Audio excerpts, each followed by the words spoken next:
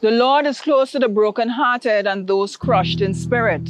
Psalm 34 18. But many of us, that will come to us in one form or another. Be it the death of a loved one, maybe your husband, wife, children, grandparents. But death is our eventuality. This is the mortality of man. What happens after we die is a question, sometimes even for our loved ones. In this case, when a person in Trinidad and Tobago dies, what is next? What should one do? Firstly, when a person dies within five days, the death must be registered. And you may be asking, by whom? Who should register this death?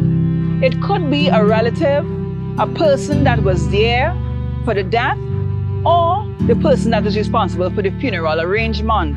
And the second question, what documents do you need to work with? Marriage certificate, if applicable, birth paper, ID card, as well as your ID card, who is registered the deceased.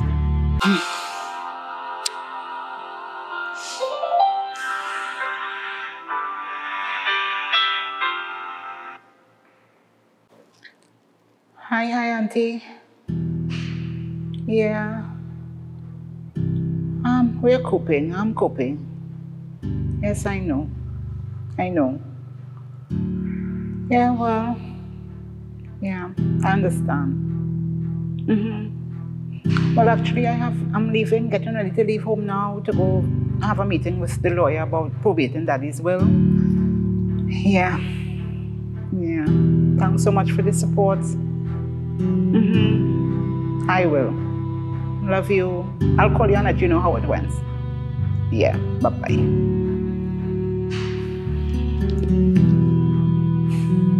Dealing with the death of a loved one is challenging, but there are certain legal steps that one must take.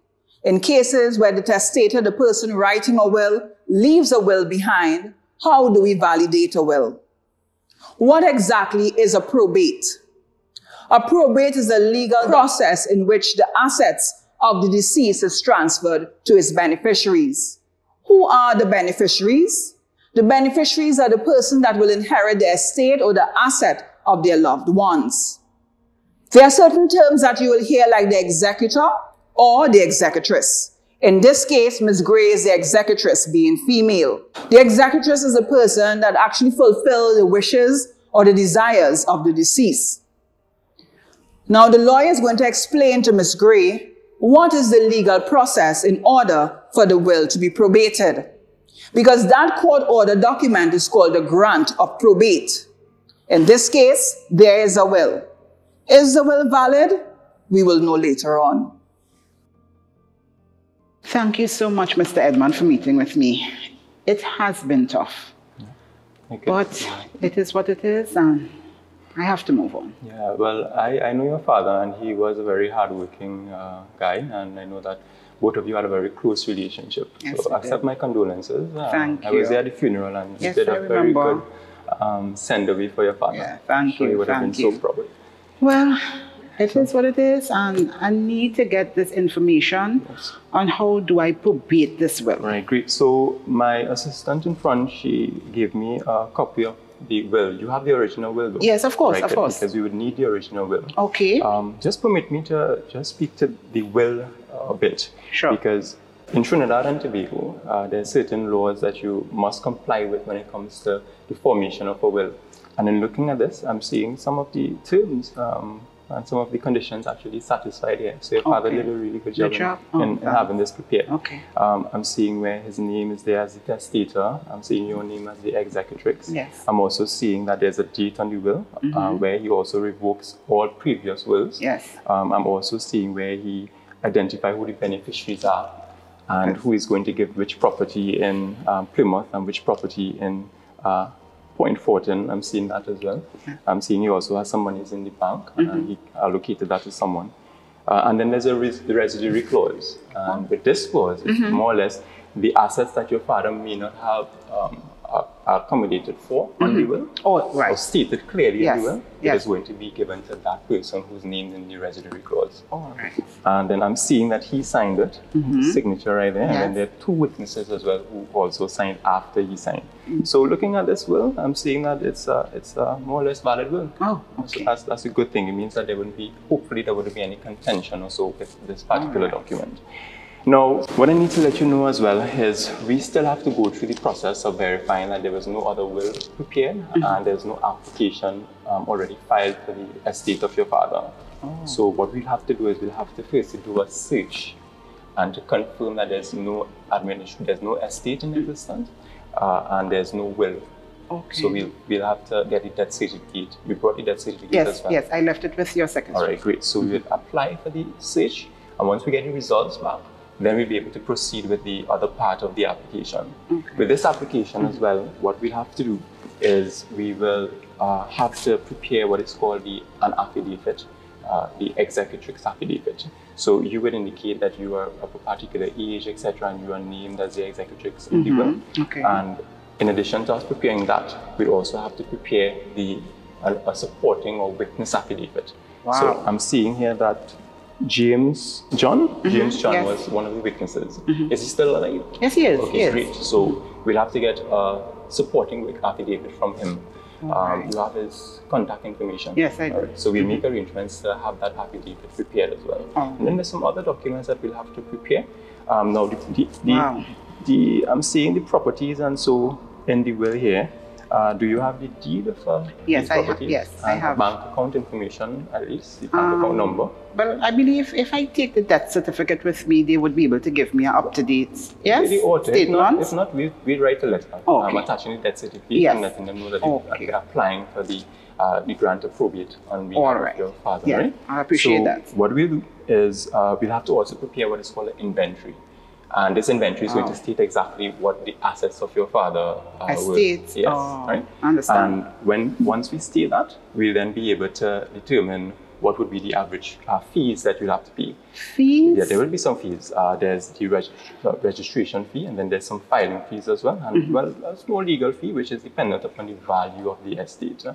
Uh, so more or less, that would be the process that we'll have to go through uh, in order for us to properly have the assets of your father transferred to the beneficiaries on this will. Okay. Are you with me so far? Yes, yes, Okay, great. I'm following. Great. Um, and more or less, those are the major steps that we'll have to be uh, going through. It may take a little while. Sometimes it may take three months, or it may take longer. Okay. But I am very proud, and um, um, it's, it's good to know that your father made arrangements to leave part of his life Yes. with the, the beneficiary stated the will. Yeah. Well, knowing him, you know how thorough he was. so, indeed, yes, indeed, indeed. yes. So I'm, I'm quite happy to see that. All Um, right. Um, I appreciate the explanation. You know, my mind is still all over the place. Um, I would appreciate before I leave if you could have your secretary email me at least that itemized list of what we discussed.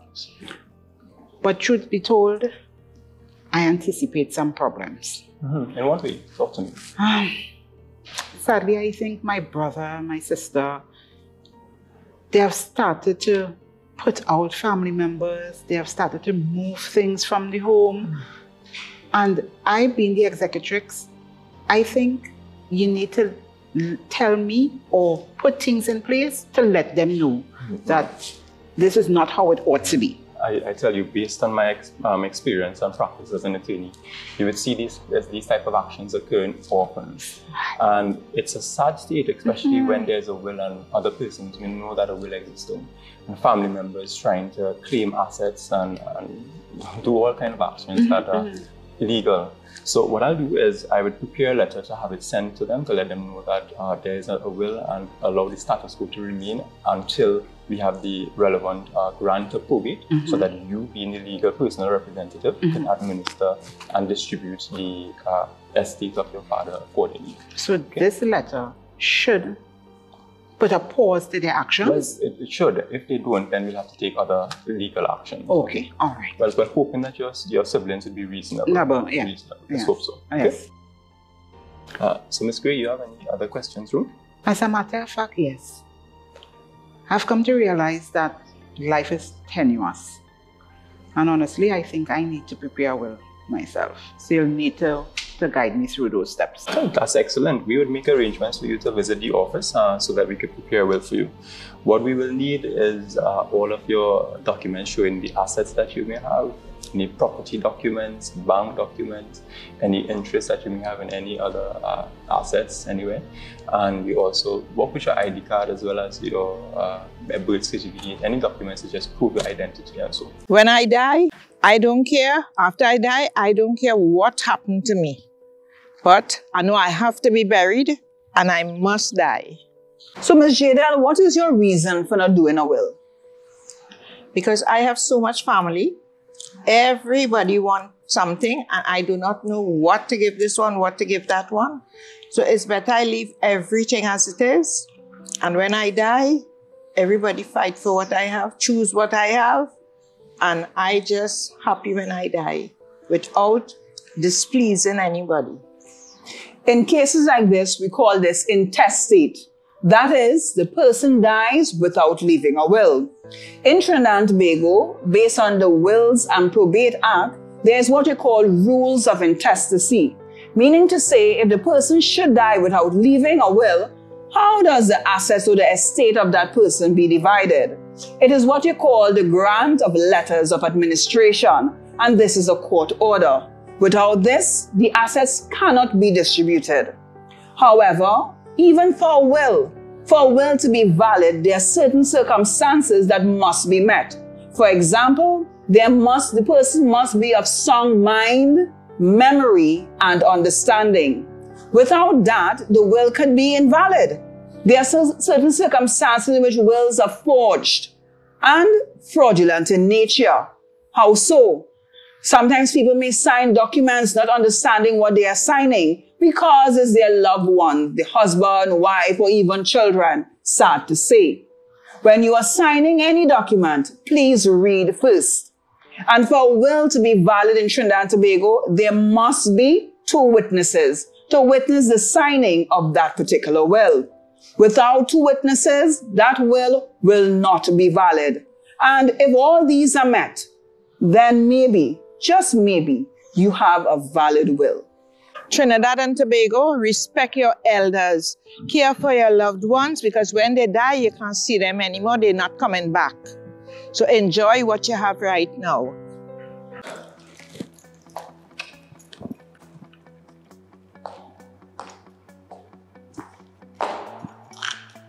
But what in jail is this? Where are my things? Mommy even dead, good self and buried. I feel as that jagabat outside woman and my father will not do this, you know. Because it's not my siblings. I know mm -mm, they wouldn't do this. And daddy wouldn't do this by himself. No, no, no, no, no. So it had to be something. I had to have rights here, man. I call in my lawyer. Hello? Yes, I need you to come and meet me by the house because they come and take everything from me. Mommy just died. I know I had to have some kind of rights. I need you to come and look at the place and tell me, tell me what rights I have because I don't even have a couch for me to sit on good self. Hi. Hi. Thanks for coming on such short notice, but It's no problem. you see, you see what's going on. You see what's going on. So what exactly happened? Well, my mother, you remember my mother dead, right? Right, yes, So we buried her the other day. Yeah. We just supposed to, you know, everybody's supposed to take something. I don't know what the, the case is. So I come home here, and this is the scene I come home to. Nothing, nothing at all. Right. So I, I, I know my sisters and them, they would not, they would not just leave me with nothing like this. Right. So, and my father already have things. So I don't, I really don't think he will do this by himself. I really feel as he, he outside to me. Right. I feel as that woman with him. I'm not too sure, but tell me, what, what I could do? So you said that your mom passed away, right? Yeah. How long ago she passed away? About uh, two weeks. Okay. Did anybody go to the court and apply for a grant of letters of administration or probate or anything, as far as you know? Uh, not, not, not that I know, no. Okay, all right. Well, basically, how I will put it to you is that somebody needs to go. First of all, one of the relatives actually needs to go and they need to apply to the court for probate or letters of administration. But did you know if your mom left a will at all? I ain't seen nothing yet. Okay, you never, she never mentioned anything to you, anything like that. Nothing at all. So as far as you know, there's no will. No. Okay. So in a case like this, what one of your relatives or you needs to do is to go to the court and apply for a letters, a grant of letters of administration. Okay. But there is a type of priority according to the laws of Trinidad and Tobago. So according to the Wills and Probate Act, there is a priority of what relatives that could apply. So Okay. first up is the surviving husband of the deceased. So that would be your dad. Dad, uh-huh. Right. And then second is the next of kin, and the third is the administrator general. So your dad should actually be the one to go to the court and apply for a grant of letters of administration, as he would be the, the surviving husband of the deceased and the first in priority in the list. But how he could go is not he who won the things, is he woman? So, according to the Administration of Estates Act, cohabitants do have a right to claim assets under a deceased estate. However, she is the cohabitant of your dad, as far as you tell me, and she's Right. not the cohabitant of your mom, of course. Right. So she actually is not entitled, according to the Administration of Estates Act. Hmm. Only you and well, do you have any brothers and sisters? Yes, I have two sisters. Right. You, your two sisters, and your father would be entitled under the Administration of Estates Act because that act actually stipulates who would be entitled to benefit from an es- from a deceased person's estate when they Right. pass away without a will. So, in that order, actually, the cohabitant would not be e- entitled to anything in this situation. Cohabitant? But she, my mother and father was married, living in the same house. She, she's not, she wasn't living there. But my mother always thought, you know, she always thought it was she. But she didn't know for sure. But he too nasty boy. Two weeks now and here he living with the woman already and want to bring her here to take my mother personal belongings. Nah. Is, is have any way that we could do it so my father don't have to because she will just get everything. And I don't want her to get nothing. Honestly, if you could get your dad's consent, then you would actually be next in line because you would fall under the next of kin category under the Wills and Probate Act, and you can apply to get the grant of letters of administration. But that doesn't mean that your dad is not going to be benefit. Well, he- that doesn't mean that he'll be in, he won't be entitled to anything under the estate.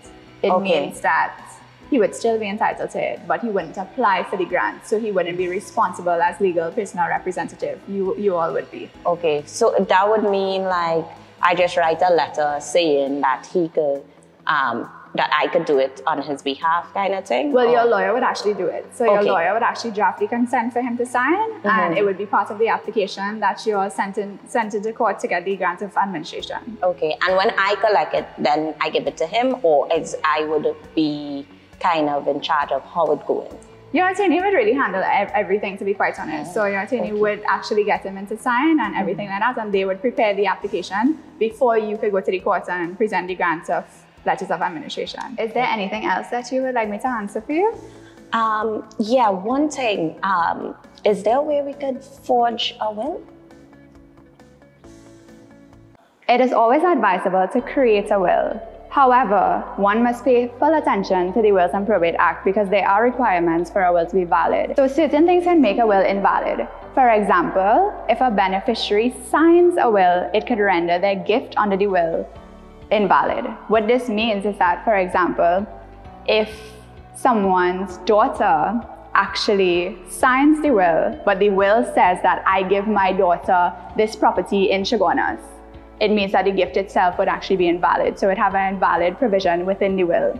And what that does is that it, it makes the gift fail. So the asset itself is not going to be distributed. It actually falls in the revisionary estate, and whoever is in the revisionary estate clause, that is the person that it would go to. However, if there's no revisionary clause, then it actually fails completely. So you need to pay attention to that. If someone gets married after they make their will, it makes their previous will invalid. So after these invalidities happen, there is actually a grant that we call a grant of letters of administration with will annexed. And what this does is that it actually, we actually annex the will to it. So your attorney would annex the will to the application so that the court can see what the deceased's wishes were before he passed. The court actually tries to honor the wishes of the deceased after his passing. So they actually go to the will and see what he would have wanted to happen and try to at least administer the estate as much as possible in that light. Oh, death, where is your sting? Oh, death, where is your victory? And one must ask the question grief or greed? Because sometimes when a loved one dies, sometimes some relatives can be opportunistic and greedy. And greedy for what? From dust we are, and to dust we will return. This is all our eventuality. Instead, family should be united. Rather, sometimes debt divide us. For what? Material assets and possession? There are some things worth far more. Appreciate one another. Appreciate time. Don't take people for granted because we are here today and gone like the wind tomorrow.